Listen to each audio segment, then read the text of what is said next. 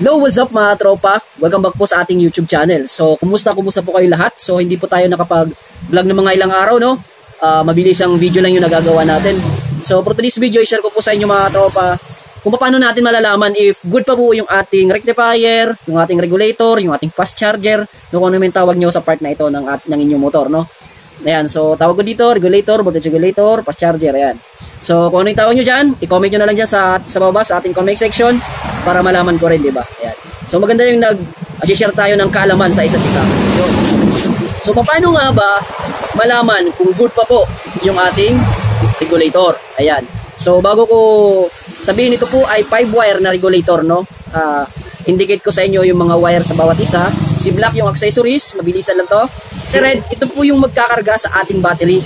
Tapos, yung orange, no? Kasi orange yung meron tayo dito ngayon, ay ito po yung charging natin, no? Yung orange. Uh, si pink, ay si pink. Si yellow, ito po yung light coil. At si green ay si ground, no? Ayan. So, hindi ko na matagalin tong video. Umpisahan kagad natin to kasi alam ko, no? At alam mo na humihingi ako ng tulong na i-subscribe nyo po itong aming YouTube channel, Burao TV Official.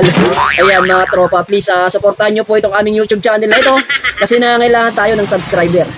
Ayan, so wag mo natin patagalin to. Diretso na kagad tayo sa video. Ayos ba?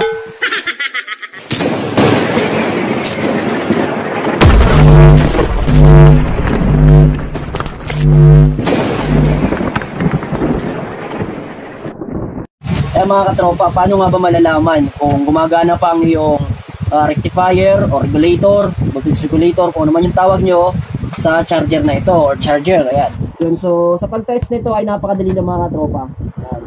So, unang-una, tanggalin ko muna to. So, siguro naman alam nyo na yung mga function ng mga wire na meron dito sa ating charger, no? So, sa mga di pa nakakaalam dyan, yung green po ay ground. Tapos, yung yellow, yung ating light coil no yung orange dito kung orange man yung naandyan or pink or white ito po yung charge coil natin. Dito sa red ito po yung uh, charger no? Yung papunta na po sa ating battery. Tapos ito namang kulay black ito po yung accessories. Ayan.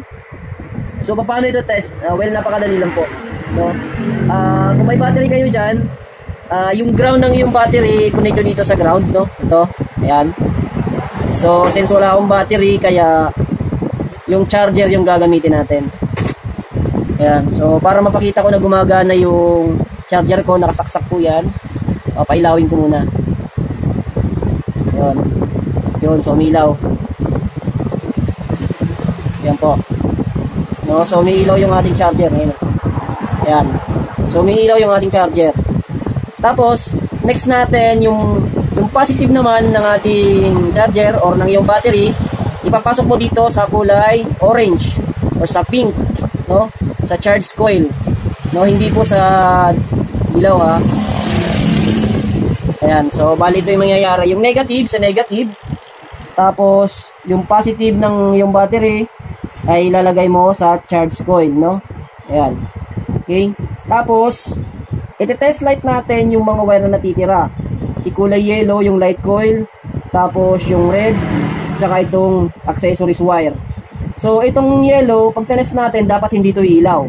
Kasi pag umilaw to ibig sabihin uh, uh, grounded na po siya sira na yung ating regulator high voltage na.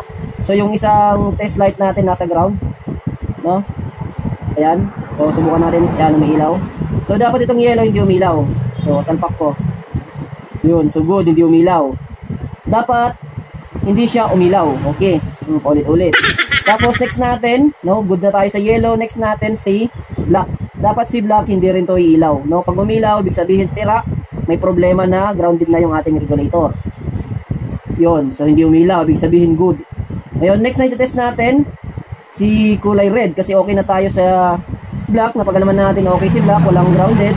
Tapos si yellow, okay din. Next naman natin si red. Dapat pag tinest light natin si red ay umilaw.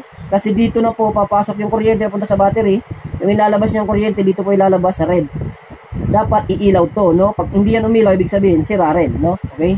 So ite-test natin. Yun, umilaw. So ibig sabihin, itong ating regulator na ito ay good pa siya. Yan, umilaw. Okay? So, Ganun lang po mga tropa, i-test light yung yung rectifier o full wave charger or uh, full wave regulator no kung gumagana pa po ito o hindi no? At isang mabilisang uh, tips lang pag sira ng yung regulator uh, pag nag, nag nagpupundi na po yung mga bumbilya nagkisiputukan na po yung mga bumbilya ng iyong motor ay nag-high voltage na po yan. Uh, ibig sabihin may problema ng ring regulator. So sa sitwasyon ng regulator natin ngayon umiilaw po yung kanyang charging. Ayan good so ibig sabihin okay po yung regulator na ito pwede pa natin ito magamit okay Ayun mga tropa, sana sa ginawa nating short video na yun, eh may natutunan kayong kaalaman, no? Uh, may naibahagi, may naibahagi ako sa inyong uh, kaalaman kung paano i-test light, no? Paano natin malalaman kung good pa po yung ating regulator, no? Yung ating rectifier, ayan. So, sana eh nagustuhan mo yung ginawa natin para makahingi ako sa iyo ng isang thumbs up dyan. At syempre, pasubscribe na rin ng ating YouTube channel, no, Papa Chad TV. At pahit na rin ng notification bell para lagi tayong updated every upload natin dito sa ating YouTube channel. Ayan, so hanggang dito lang muna yung video natin. Gaya ng lagi ko sinasabi dito sa ating YouTube channel, customer ingatan para lagi tayong balik-balikan. Ako po si Papa Chad. God bless you all. Ingat mga tropa.